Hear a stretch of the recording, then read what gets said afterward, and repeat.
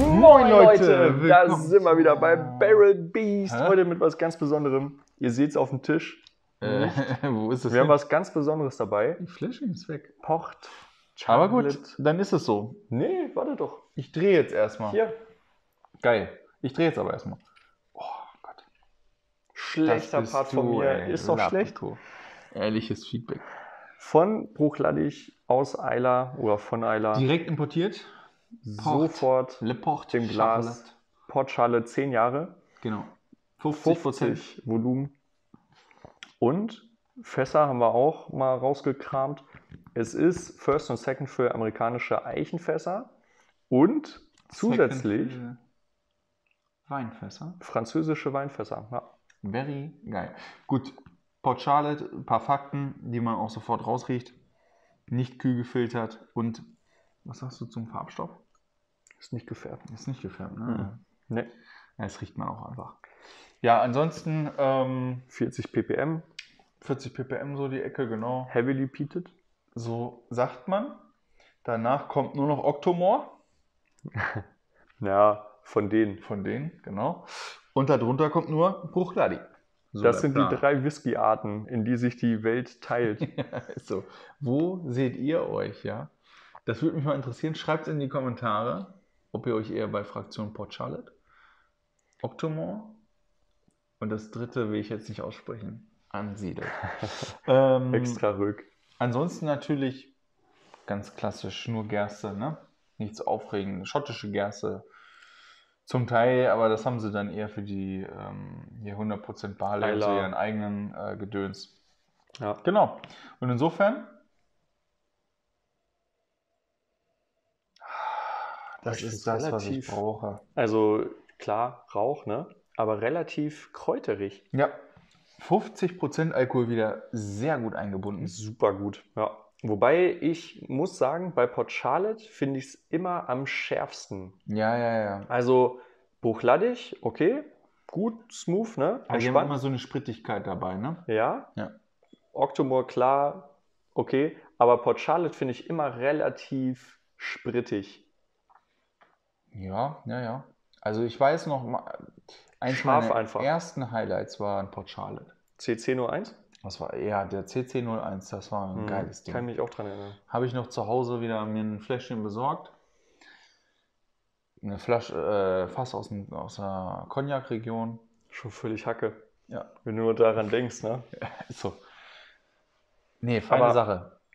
Viel in Richtung Wein rieche ich nicht, muss ich sagen. Also er hat einen schönen, Ich würde schon sagen, so ein bisschen Rotweinfass ist dran. Aber es ist nicht viel, aber so eine gewisse Erde oder metallisch, irgendwelche Metallaromen. ja, verbinde ich einfach was anderes mit Wein, ne? Also so ein bisschen Bitterkeit und vor Mhm. allem Süße, ne? Mhm. Aber ich finde, Süße ist hier echt verhalten. Mhm. Da wundert es mich einfach, dass der so eine Frische hat, so eine, ja, weiß ich nicht, wie so, Das ist wie so ein, mhm, so ein gewisser Käse. Ah, cremiger Käse, der so ein bisschen ja, salzig auch ist. Es gibt von, also ganz so salzig ist es nicht, aber so ein paar Aromata davon. Jetzt machen wir wieder mal so hier Markenbashing, aber von Old Amsterdam gibt es ja klar diesen, ich sag mal, Old Amsterdam. Old Amsterdam. Aber es gibt auch einen Streich, äh, Aufstrich von denen. Da hat er was von. Schöne Sache. Ja, würzig. Ein bisschen Sellerie. Aber ich habe zum Beispiel bei würzig, ich habe wenig bis gar nichts aktuell so ein Pfefferarom, wenn ganz, ganz, ganz verhalten. Ich habe halt wirklich diese fast mentholartigen Kräuter. Also ich finde ihn fast zu frisch in der ich Nase. jetzt, ja, ja, jetzt wo du es sagst, ich habe gerade mal ein bisschen nochmal hier geschwenkt. Da kommt das durch, ne? Ja, geil, ich will ihn mal tasten. Komm, das Lunche. Sancho.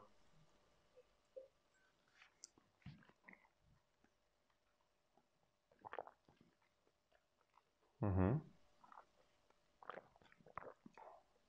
Ist schon ein bisschen am, am Stechen auf der Zunge, finde ich.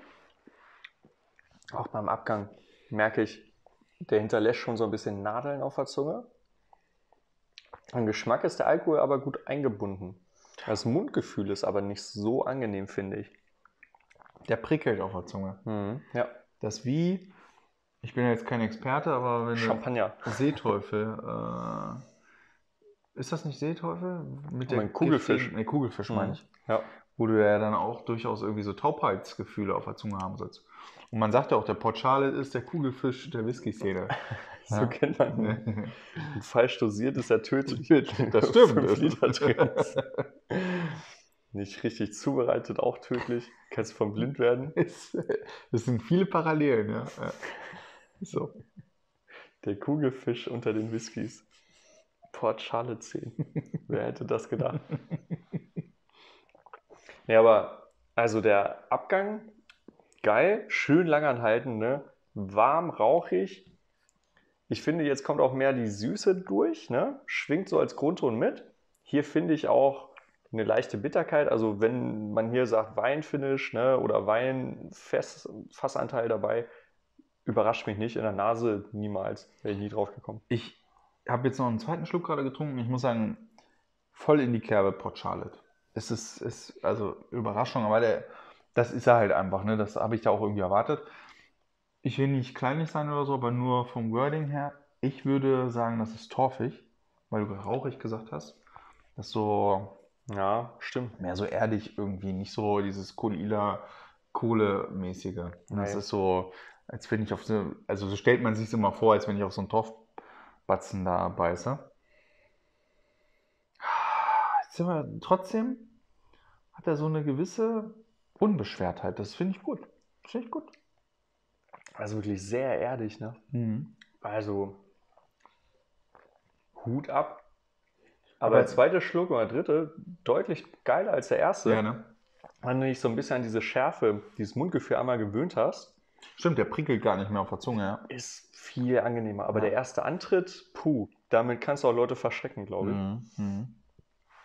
Er hat auf jeden Fall ja, sehr angenehme Torfigkeit, so relativ, wirklich ja, mittellang auf jeden Fall. Es wird auch warm im, im Hals. Aber es ist jetzt nicht so, dass er da irgendwie, glaube ich, dass du eine harte Zigarre daneben stellen musst, damit du da irgendwie dem Herr wirst. Mhm. Obwohl er ja heavily peated ist mit 40 ppm.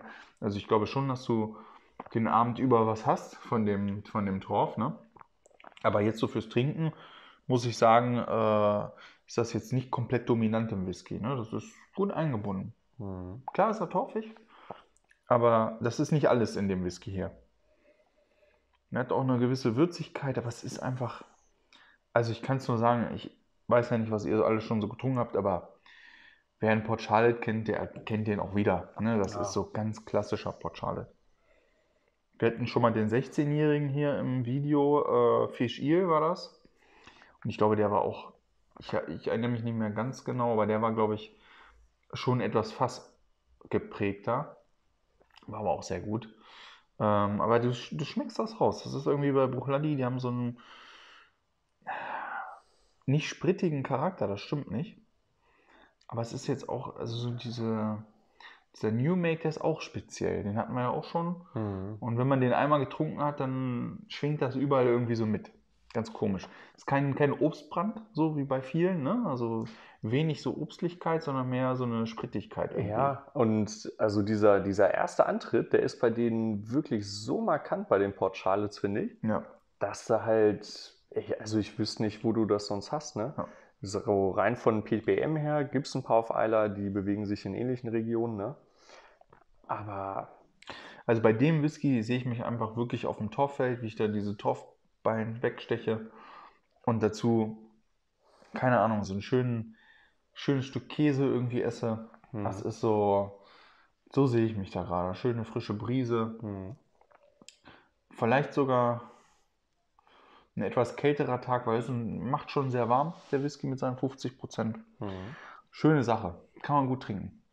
Als Vergleich, ne, wenn du einen Monja dagegen hältst, Mm. nicht so viel ppm, rauchiger, weniger Erde, mehr Mhm. Salz, ne? Mhm. Also so, kann man sich durch Eiler so ein bisschen durchorientieren. Mhm. Aber klar, ist keine exakte Wissenschaft. Ne? Also gerade beim Tor von beiden ppm ist sehr viel subjektiv dabei und natürlich auch Alter, der das Ganze dann beeinflusst. Ne? Fast sowieso. Aber auch mit den Jahren verschwindet der Torf ein bisschen. Ganz ehrlich, wir hatten letztens mal irgendwann einen 25-jährigen Erfolg, ne? Mhm, das stimmt. noch, noch älter. War nicht mehr viel los mit Torf, ne? Ist Ja. leider so. Ja. Aber das hier, Was- schöne kleine Torfbombe. Also Absolut. finde ich geil. Schmeckt. Hatten wir schon was zum Preis gesagt? 58 Tacken. Mhm. Was hättest du denn bezahlt? Du, ganz ehrlich, äh, steht nur eine 10 drauf, Mhm. aber das ist für mich kein Kriterium für einen Preis. Ja, Und ich finde den Preis angemessen, muss ich sagen. ich auch. Ich ja. bin natürlich auch wieder ein kleiner Torfett. Deswegen, aber ich finde es okay, ganz ehrlich.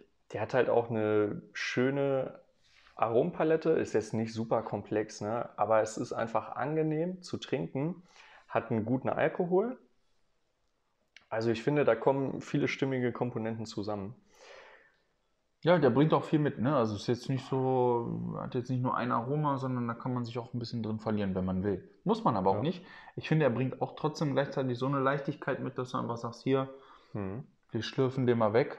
Aber nicht beim ersten Antritt, ne? Ja, Also da ja, muss man sich drauf gefasst Kurz warm werden mit dem Ding. Ja, also wirklich braucht ein bisschen. Aber Was dann, Braucht also denn deine Benotung noch? Oder? ich gebe dem gute Noten. Ähm, ich würde mal sagen, im Geschmack finde ich ihn am besten. In der Nase gebe ich ihm 81 Punkte. Mhm. Geschmack gebe ich ihm 83. Mhm. Wirklich gut. Abgang ist eigentlich auch gut langanhaltend. Ne? Nicht mehr ganz so komplex. Mhm. Gehe ich mal runter auf eine 80. Aber rundum gelungen. Ja, das, das Wenn man einen deckt Preis dazu nimmt, kann man fast noch einen Punkt drauflegen, finde ich. Mhm. Das deckt sich eigentlich ziemlich genau mit dem, was ich jetzt auch so mir gedacht hatte. Ja, Nase und Geschmack finde ich beides sehr gut. Ich gebe ihm da 83 in beiden Punkten. Und Abgang ist jetzt nichts super aufregendes, aber auch nicht schlecht. Ähm, 80 Punkte. Also er macht vieles richtig. Und ähm, schwierig. Also das ist einfach in sich, steht der, glaube ich, für sich. Also der steht für einen Port Charlotte 10, einfach erstmal so. Und es ist jetzt nicht so, dass ich sage, ey, den, den musst du jetzt unbedingt im Schrank stehen haben, das ist der Nee. beste Whisky ever. Das nicht. Aber ich glaube, den sollte man schon getrunken haben. Gerade wenn man einen Torf mag, dann gehört das schon, also das, das ist schon ein Pflichtprogramm irgendwo. Ich finde auch, ne? Also wenn man so an Eiler denkt, ne, dann hast du halt deinen Artback 10, hast deinen Lafroig 10, vielleicht einen Lagavulin 16 noch und so, Ja. die ganzen Standards. Ich finde, das hier ist ein weiterer super eigener Standard. Finde ich, ist auch so ein, so ein Stützpfeiler von Eiler, für mich zumindest. Ja. Hat halt nicht so diese Tradition, aber diese Heritage, ne? Aber für mich genauso wertvoll. Ich finde halt bei Bruchladi ist häufig so, je nach Fass und Alter. Ich habe auch schon diverse gehabt, wo ich sage, nee, muss nicht sein. Ne? Mhm. Und das ist einer, da verstehe ich, also das, das harmoniert einfach sehr gut mit dem New Make, den die haben. Ja. Insofern, der ist auf jeden Fall äh, das Probieren wert. Insofern, Der funktioniert. ich sag mal, jetzt nicht auf Zwang eine Kaufempfehlung, ne? man muss den jetzt auch nicht haben, aber man kann ihn auf jeden Fall bedenkenlos kaufen, meines Erachtens. Ja. Insofern, das, das wäre so da das. Und beim Barrel Beast fehlt halt einfach ein bisschen noch was. Ne? Mehr Komplexität. Ähm, ja, Punkt. Mehr Komplexität eigentlich. Ja. So. Ja. Oder wir machen ihn noch günstiger. Das stimmt, das könnte auch helfen. Gut, in diesem Sinne, vergesst nicht zu abonnieren. Glocke war, glaube ich, wichtig. Ne? Wie ging das? Äh, Ding, Glocke? Ding, ding, Ja. ding. Und Kommentar. Lasst einen Kommentar da. bis zum nächsten Mal. Ciao.